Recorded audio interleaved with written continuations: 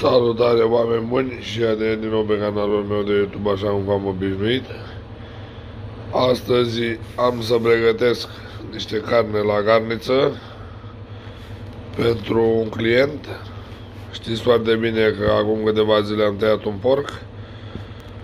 Este mai greu cu afumatul pe perioada caldă, dar uh, m-am chinuit seara și am uh, obținut zic eu, un produs destul de calitativ. Avem aici cârnați, pulpă, o bucată de mușchi, coastă și așa mai departe. Vizionare plăcută.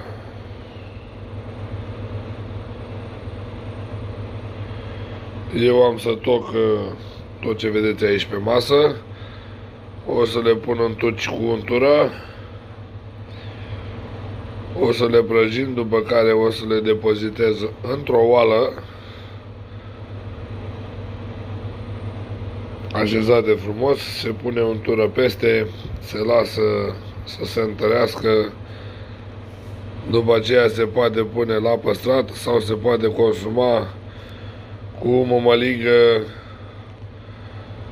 rece, caldă, cu murători și așa mai departe.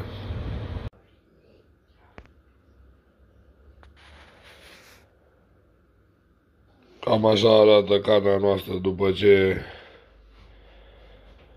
am proporționat-o.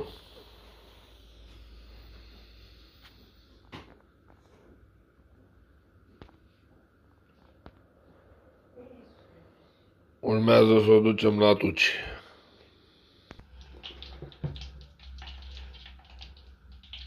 Aici avem tuciul. Prima dată vom pune cârnații la prăjit.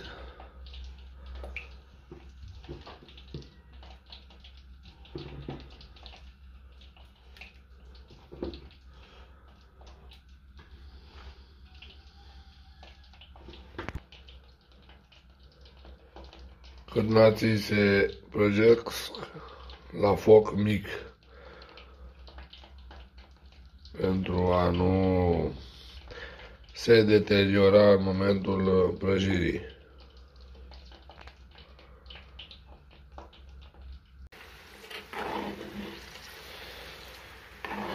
Când nații noștri au început să se rumenească, să las la prăjit până când uh, prind acea culoare maroniu închis. Bine, se mai face și după gust, fiecare face cum dorește, eu fac metoda clasică, cum se face de ani de zile.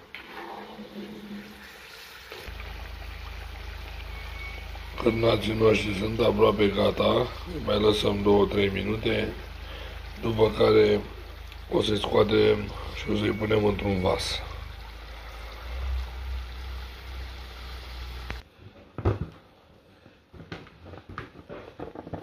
Cam așa arată cârnații noștri după ce au fost prăjiți. Urmează să ducem și bucățile de mușchi, pulpă și coastă pentru a le prăji.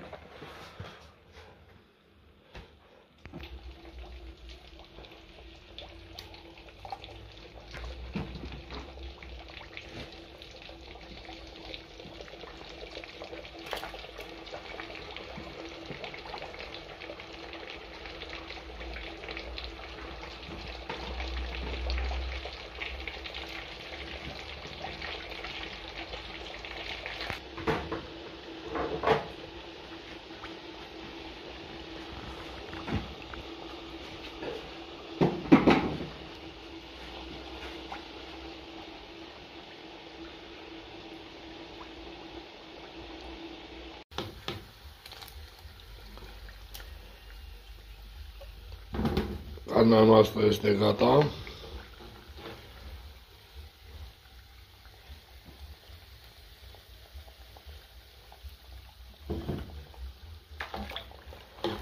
După ce o vom scoate de aici, o să mergem să o punem în oală.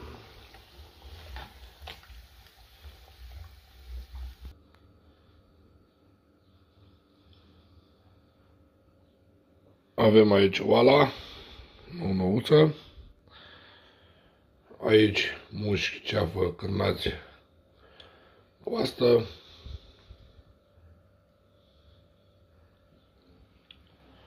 Să le așezăm în oală.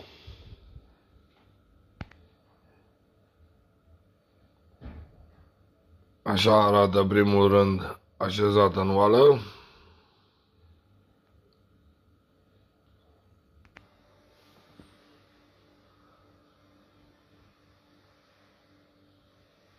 Ușor, ușor umblem oala. Aici lângă mai avem uh, o garniță de 5 kg, o să o umblem și pe aceasta.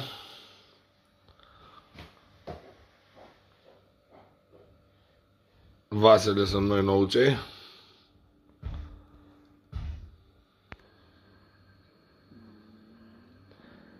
Oameni buni,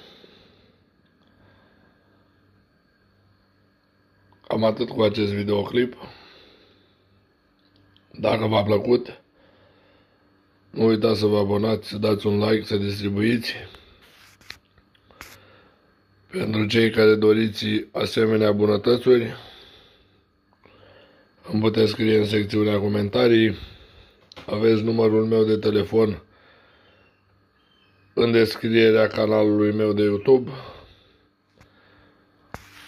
puteți lua legătura cu mine și așa mai departe. Toate cele bune, gând la Dumnezeu și numai bine.